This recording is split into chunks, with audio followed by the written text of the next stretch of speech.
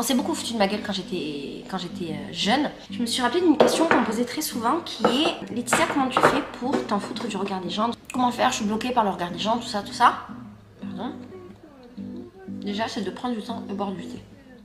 C'est de te rappeler un truc très important. C'est qu'on ne contrôle absolument pas ce que les gens pensent de nous. Dans tous les cas, quoi que je fasse, je pourrai jamais contrôler ce que les gens pensent, en bien ou en mal. Ils auront un avis sur la, question, sur ce que je suis en train de faire. Ça sur toi, tu as un avis parce que je suis en train de manger, de, manger la bouche ouverte euh, et que tu trouves ça dégueulasse. Ou si ça se trouve, tu te dis, putain, c'est trop bien, elle mange un gâteau et ça me donne trop envie d'en manger. Franchement, c'est ce que tu devrais te dire. Mais j'ai pas de contrôle. Donc, le jour où j'ai compris que j'avais aucun contrôle sur ce que les gens pensaient de moi, ça a complètement changé ma vie. J'ai lâché prise. Et en vrai, on n'a pas d'autre choix que de lâcher prise sur des choses sur lesquelles on n'a pas de main, on n'a pas de prise.